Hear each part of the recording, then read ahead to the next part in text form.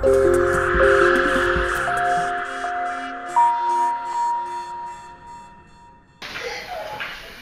Режиссер, драматург и общественный деятель, чье имя известно не только в театральной среде, Булат Атабаев отмечает свое 62-летие. Не только его постановки известны во всем мире, но и справедливые политические высказывания, критикующие действия казахстанских властей и самого Нурсултана Назарбаева. Об искусстве и политике Атабаев привык говорить открыто. За эту самую правду на отмашь и свои убеждения страдать режиссеру приходилось не раз. Даже режиссер, который управляет театром свыше 10 лет, возьмите любимого, ведь труппа устает.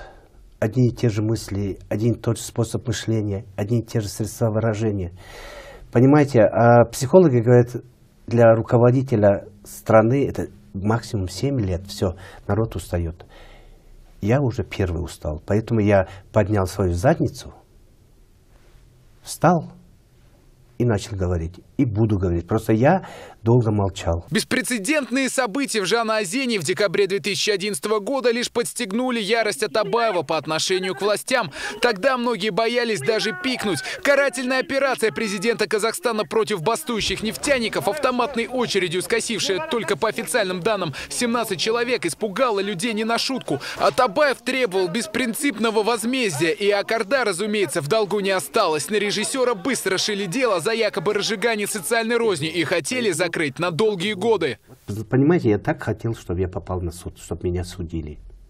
Жангазин, до судебного процесса, чтобы я дошел. Но меня Володя Козлов уговорил, мы сидели рядом в камере, он в этой камере, через стенку мы, я сидел. И мы каждый день встречались у окна и переговаривались, хотя друг друга не видели. И он мне просил, Булат, ты должен выйти, потому что, потому что у тебя язык длиннее.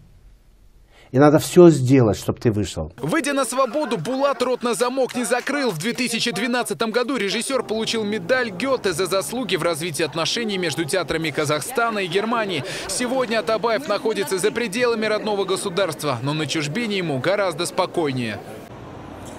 Баке, Казахстан вас приветствует. Мы ждем вас живым, невредимым. Э, в этот праздничный день хочу пожелать, конечно, Булату Атабаеву крепкого здоровья, вот, и успехов на творческом поприще. Я хочу сказать, вы знаете, в Казахстане очень много э, талантливых политиков и государственных деятелей, но, к сожалению, катастрофически не хватает талантливых режиссеров. Именно таким знали его у нас в Казахстане. И я хочу сказать, вот к слову, знаете, что иногда язык искусства гораздо более эффективнее содействует переменам в обществе, чем политические лозунги, митинги, призывы и тому подобное.